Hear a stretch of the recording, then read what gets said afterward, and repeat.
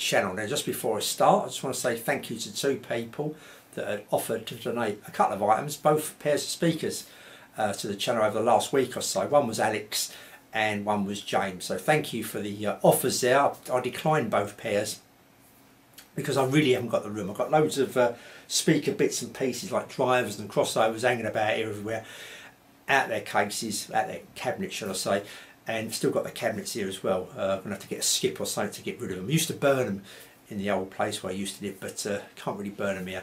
The neighbours are pretty close by and I don't smoke all over their washing and all that and I haven't got a bin or nothing like that so uh, I don't do any more of that.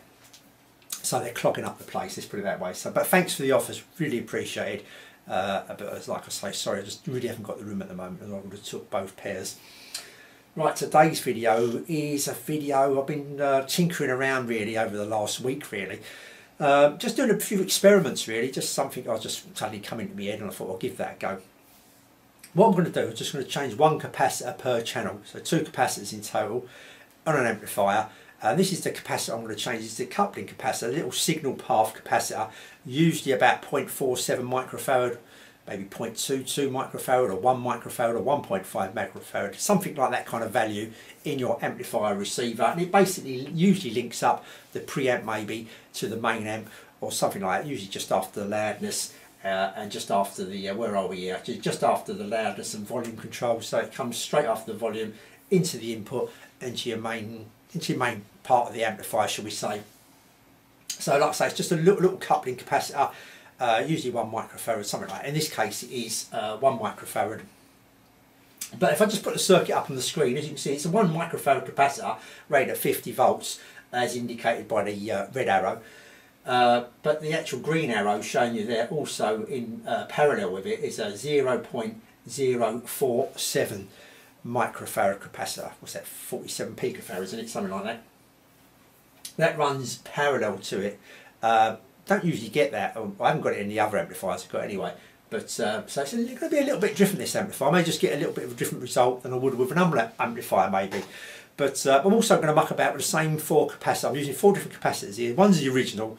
I'm going to use, uh, I, don't know how these, these are pronounced. Rubycon is another one, a Nichicon right at the bottom of the screen, and one of these WIMA, WIMA, whatever you want to call it, capacitors. So they're all going to be the same values we're going to swap them out or I'm going to swap them out. And tell you what I think if it makes any difference at all to the tonal quality the actual quality uh, of the uh, output I'm getting from the amplifier. This is an a Sansui AU217 I forgot to say that. But I've got a couple more amplifiers that uh, I'm not just changing this capacitor and the other amplifiers I'm actually going to change quite a lot of them. So there's two other amplifiers and they are uh, just going through them at the moment because this does take time. Uh, Marantz uh, 1030 amplifier I got that had a little bit of an issue but hopefully I've cleared that up and I'm going to do a separate video on that issue as well as well as Sansui 331 uh, that I've uh, recapped as well. But come to them we're going to use the same capacitors again, maybe different values but the same makes, um, same range and uh, we're going to uh, see how they sound in them particular units but for now it's just this particular unit. So what I'm going to do is, uh, like I say, this where it is, the blue arrow here, just, just put a diagram up once very quickly. The blue arrow there is actually showing you where it's coming from the volume control. Uh, that's just after the uh, loudness from the volume control. It's coming in through them little uh, arrows, them little light blue arrows into this capacitor. But like I say, it's also got that 0.0471 there as well. But we're just going to change that one microfarad uh, so here we go, let's have a look. We're just going to show you, I'm just show you briefly, just in case you've got this amp, I doubt it very much, but you may have it. Uh, that's it open now, just very quickly. Um, there's the two capacitors I want to change, and to get to them I'll have to move this shield that's in the way there uh, of a few, I think that's the input control, and that's all shielded. So I took that out of the way, it's given me, there it is with it removed, uh, and we just kind of do a different angle, we can see the two capacitors we're going to get to. So there they are. I've taken them out, a little picture of them, both of them out. And we're going to measure them. Um, did I do both of them? I think I did. It is one of them anyway. It measures uh, 1.04 um, microfarad, uh, ESR 5 ohms and a V-loss of 0.4. We go over to the other one very quickly uh, and it's 1101, uh, 5.1 and 0.5. This just, I just thought I'd do a few measurements there. You may want to look at them, you may not, but while I've got them, I'm also measuring how accurate this meter is, I do not know. but uh, just to give you some idea. So which ones am I going to put in first? Um, I'm going to tell you about the sound afterwards. This just show you me putting these in. So uh, just to show you here, we're going to put in one of these WIMA capacitors, WIMA capacitors. Uh, there's the measurement of this particular one, and the other one was very, very close. I make, I make sure that I've got a pair, a matched pair. They, they may not be absolutely spot on, but we'll within 0 0.10. You know, this is 974, the other one may have been 964, uh, but the V-loss was exactly the same. That they're all zero, all the ones I had. I think one was 0.01, but uh, other than that, ESR 1.7. So they're very, very tightly matched. The pair I used uh, to make it um, as closely balanced as possible. So that's that one. There you are. There's a picture of them both in the circuit just to show you they are in there. Uh, then I've took them out. Uh, then I've decided to use a Rubycon. Uh, there's the Rubycon I've used. Uh, 987 uh, microfarad 3.4. You can see what it is. I won't keep on repeating it. You can see the measurements yourself. Now, taking these in and out on this board, I used a 30 watt iron. Maybe I should have used just a little bit less. I've got a 15 watt iron. I just really couldn't be bothered to get it out. And uh, I used solder wick rather than one of these sucker things. So that's another thing that's probably not helped. But uh, I've not really had much trouble to really of, of lifting tracks. Apart from this amplifier, seems to be uh, they seem to come up fairly easy to a certain extent. Uh, so I've had to bridge it there. You can see that big red arrow. Well, the, the track's actually lifted, and I put a little piece of wire just to bridge it across there. So uh, after that, I decided uh, to actually put the Rubycon, uh, as I'm going to take them in and out, in and out, be swapping them about, fiddling about quite a bit really, uh, to um, do on the, on the other side of the board rather than poking them through the holes. Do it on this side of the board. It's easier for me to do, and hopefully I'm not going to muck up the board any more than what it is. Now, I'm showing you these. I'll come to it in a minute. I'll come to the next bit I want to say. So that's that one. Um, then we're going over to what we got here. This is the um, Nichicon uh, it said. It's going to be at the bottom of the screen so you can see it. Fine gold one, uh, one microfarad as you can see, 9.35, and that's a match pair of them in there as well. And as you can see, these little 0.047 ones now have actually made it to this side of the board. They were on the other side, but I decided to have a little experiment taking them out as well. So it's just the one microfarad in there as well. See what kind of difference that made just a brief little experiment with that as well. So we're going to come to all the experiments in a minute, but just to let you know that after putting these in, I, this is how it comes it's took quite a bit. I'll run the amplifier for 24 hours, an whole day, when I've been listening to it here, doing something or whatever, I was doing something else in the background. I didn't really take much attention to it till the following day, then actually done the assessment. Uh, so just to let you know, and when, when I went to bed, I just left the CD on on, on, the volume on very, very low because I don't, don't want to wake up the old house. It was very, very low, but I did leave it on for 24 hours. So basically, it's, it's near enough 24 hours. It may have been 23, 22, one of them may have been 26, 27. But I wanted to give it a fair run because I know some people will say that these capacitors need a little bit of a burning. Some might say a few hours, 10 hours, something like that. But I thought I'd give it a full 24. That's what's took the time and obviously doing uh, one lot was already in there, lucky enough, but doing the others, it, it took a matter of days to get all this, well, quite a few, probably a week or so actually, of doing this particular experiment. Just want to let you know I've done it as fair as possible. It's just not like just stick them in, sit back, listen to it for five minutes, stick, take them out and all that kind of stuff. It wasn't like that. So, okay, so as you see me put them in, taking them out, swapping them over and all that kind of stuff. I'm going to come on to the sound now, how each individual pair sounded. Okay, so what was the idea of the experiment before getting the sound? Well, it's just, I thought, say, a little bit of a tinker around. Just wanted to see what one capacitor could do, uh, what kind of difference that could make. And this is an amplifier here, the 217, Sansui 217, an amplifier quite like, uh, I kind of said this is, you know, if, you, if you're looking to get this, get it, but the 317's probably better, going by Stereo Review, X's Review, and quite a few people, say a few, few forums I read as well, seem to agree that the 317 was the one to get out of the 117, the 217. So um, you know, it's not a bad amplifier. It's quite good. You know, so I quite like it. It's an amplifier I can quite easily listen to, and I do. I do whip it out and listen to it. So that's for certain. So I just wanted to get more, a little bit more, maybe a tad more detail would be great, wouldn't it? A tad more detail. But for me, I wanted to get a little bit more airiness, a little bit more space around the instruments and that kind of thing and a tad more top end as well. Just thought it lacked a little bit in the top end. So um, that's what I was trying to get out of it. So that was the idea of just changing these. Now I know some people would say we should do a full recap mix, let's just bring it back into life. Uh, but I only wanted to do an experiment with one capacitor, see if that made any difference at all. And I have changed capacitors, uh, a full recap, apart from the power supply, no sorry, apart from the smoothing cap, the main smoothing cap, on a couple of amplifiers that uh, I'll bring up very, very shortly, just finishing off listening to a couple of things with them that I've also done the complete change, changed, these are the capacitors, these coupling capacitors, I've changed in them as well. So uh, see if they make a, any difference and what kind of difference to another amplifier rather than this one. But they're coming up shortly.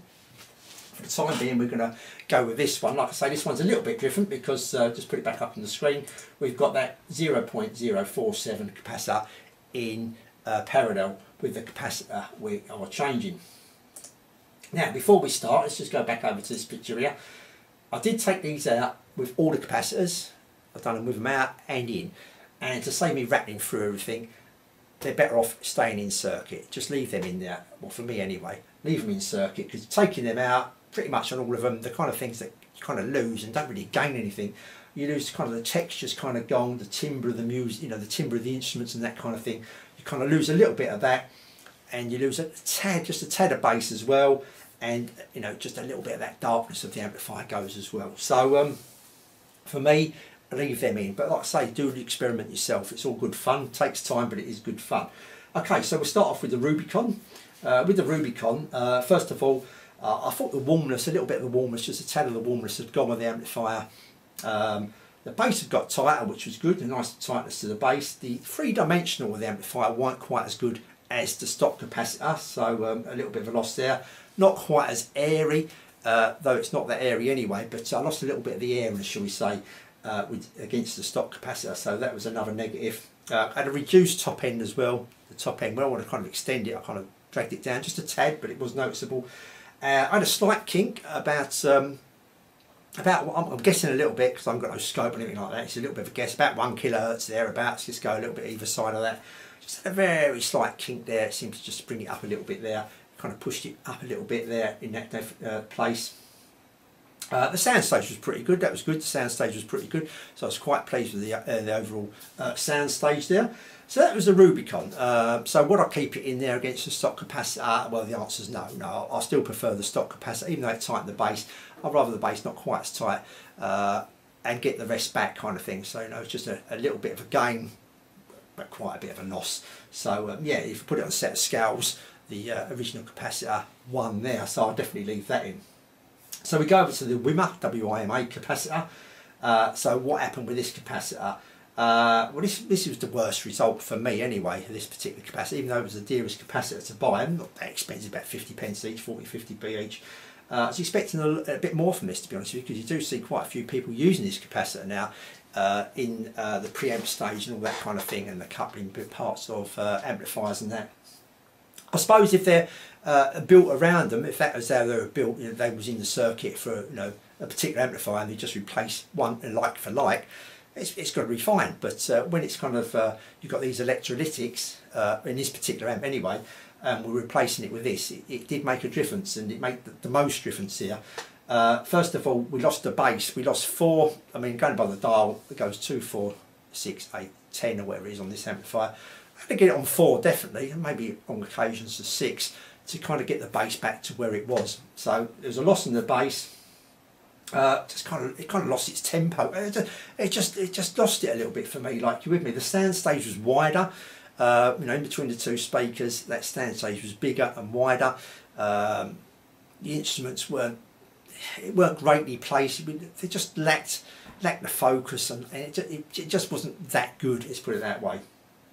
Uh, lost the darkness, the darkness had gone as well. All in all, it was a terrible result really, you know what I mean? I listened to it, you know, I listened to it through that whole day, I had to listen to it, like I did it on two loud, I was tinkering around and all that. But uh, when I actually sat down and listened to it, I thought this is something I'm not going to be able to listen to for too long. You know what I mean? You give it half hour or so and you're going to get fed up with this, definitely. So that was the worst capacitor by a mile. Now something I do do, I, do, I probably haven't mentioned it before, but I do wander around the house, especially upstairs from one room to another when I'm listening to music and that, and I've got it on a reasonable volume. And uh, I've done it with all these and other stuff I do as well, and I've done it with all these as well. But uh, you know, you kind of go out the room and it's, it's, the old rhythm's going and all that kind of thing. But with, you know, you want to get back in there. You think, well, this is where the party is. Let's get back in there. It sounds fantastic there. You know, you're doing else in the room. You always get back in here. It's all happening in there And that wasn't the case with them WIMA capacitors. It was like, oh, blimey, that sounds a bit rough. you know what I mean? weren't that eager to get back in. So I weren't too impressed with them. Let's put it that way. I definitely know. I definitely weren't impressed with them. Let's, let's be a bit blunt here, Mick. I weren't definitely weren't impressed with them. But that's on this particular amplifier. Like I say, if you've got an amplifier where they're kind of built up in the circuit, there's lots of them. That's how the amp is built. Maybe a more modern one. They use these. If you're doing like for like, they're probably going to be fine. You know what I mean? But for me, it wasn't that great here. That's on this particular amplifier. And don't forget, we've got that 0.047 in parallel with it as well. So maybe that has something to do with it. I don't know, but saying that, I took it out, that capacitor, and had them on their own, and it was still the same, but even a tad even worse, if that's such a thing. But there you go, so that's that. So they won't feed for me. So uh, back to the original stock capacitors. So now we're relying on these fine gold capacitors by Nichicon. Uh, and the, uh, these come to the rescue here. The, the, these helped us out uh, no end. Uh, the darkness gone a little bit, just a tad, not as much as the Rubycon, but just a slight tad of the darkness had gone, and just slight tad of the bottom end, just a slight tad. It, was, it weren't a lot there, and a little tad of the warmness had gone as well. So we're talking about little tads here, little tads, but we had a nice tight bass here. The bass was nice and tight, so that you know that, that that's you know that's that's a good plus sign there for me. Um, that's what else we got here. Uh, the top end was the, top end I wouldn't say extended it. I wanted to extend it, like say this was another thing, just to extend it a bit. But it was just it was just clearer. It was just nice, nice and more detailed to it. It had a little bit of space around it. Trying to get that space I wanted, just just added a slight touch of space to it. Not enough to uh, think, oh, this is fantastic, but it definitely helped. Uh, also, it added just a little bit of a free bar dimension to it. Just added a little bit more of a free dimension to it than the stock capacitors. So all in all, uh, these were the ones for me really. I did lose a little bit, like I say, I lost a little bit there. A little bit of the warmth, a tad of the bass, a little bit of the darkness, shall we say. We just, just lost that little bit. For what we gained though, uh, these, these sounded nice, you know what I mean? These sounded nice. So uh, I, I, think I'll keep these in. Time will tell probably, but um, uh, just like I say, tidying that up that bass did make quite a bit of a difference for me and just giving that a little bit uh, crisper top end. Uh, that was the winners there for me. So I've been sitting here about two or three days now listening to that amplifier on and off and I quite like it. And um, over a period of time some people say these need a bit of a running it may just get a tad better man it may just get a tad better so if they don't I could put the you know if, if I kind of get fed up with it think this ain't for me I can probably put the original I won't put the other two in let's put it that way I may revert back to the original but I very much doubt it I very much doubt it I think for me this has done it the fine gold has just just prevailed here and uh, give me what I, you know, a bit of what I wanted. Not quite, but give me a bit of what I wanted. So um, yeah, I'm pleased with them. Uh, I'm going to do the same experiment, like I say, on the other amplifiers, uh, 331 and that Marantz uh, 1030. Uh, also going to bring that Marantz 1030 because uh, I had a little bit of a trouble with that, so hopefully I've cured that now. Uh, if that's the case, I'll bring a video out on that. But uh, we're going to do the same experiment with this, but they're going to be fully recapped with all the other capacitors changed around them as well, and see if that WIMA can kind of poke its nose in front or we're going to get the same result. So that's something to listen out for. I'm in the process of doing all that now. So I'll say until the next video, thanks for watching and I'll see you all soon. Oh, just one more thing before I haven't gone, I haven't gone, stay with me. One thing I will say is that if you do do this experiment, you know, you think, oh, I want to recap my amplifier, maybe just start off with that one capacitor, just see how that one capacitor goes. Nice, easy little capacitor change, usually fairly easy to get to. Not going to cost you a lot of money uh, especially if you haven't done it before and you may think that's enough. What I would say is try and get a pack of 10 of each because you want to get them matched up. So get a pack of 10 of each. So if, you, if you're buying in fine gold, you're buying the WIMA, you're buying the Rubycon or another make, whatever makes there is, there's other makes obviously. Get a pack of 10 and get the two that match up as near as possible if, you, if you've got one of them little test meters. They're not expensive to get them test meters. You probably pick up one for about 15 quid. Uh, then again, you can take a chance, but they, they, were quite a bit off. Some of them, you know what I mean. One, you know, some of them measured say 984 micro, uh, 0.984 microfarads, and some of them 0.932 microfarads. They're the two kind of figures that stuck in my mind. So uh, they can be a bit off. So uh, get a pack of 10 of each maybe, and uh, get that little meter thing, that little tester, and pick the best two, the, the two that match up the nearest uh, to the value you want as well. Try and get it as near as to the one microfarad you want, rather than matching two lower ones. Okay, that is it now. Uh, thanks for watching and I'll see you all soon.